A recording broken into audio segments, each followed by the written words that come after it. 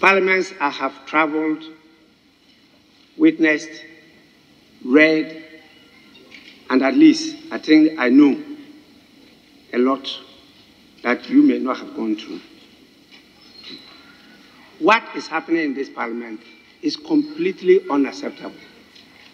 And I'm not sure you have appreciation of the temperature of the country.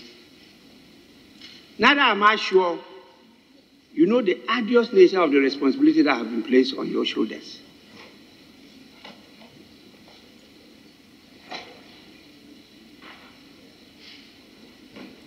You are all mature adults. What I'm talking about is still happening.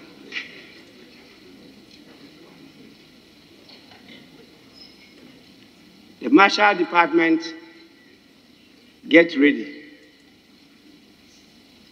I'll be compelled to get a marshal to get people arrested and sent out.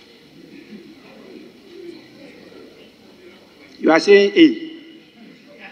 Parliament is not a place for joking. It's a place for business, serious national business.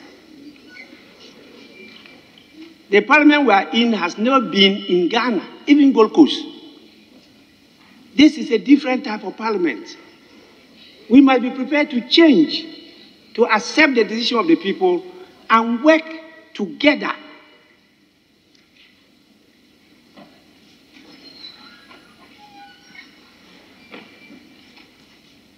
You make me sick.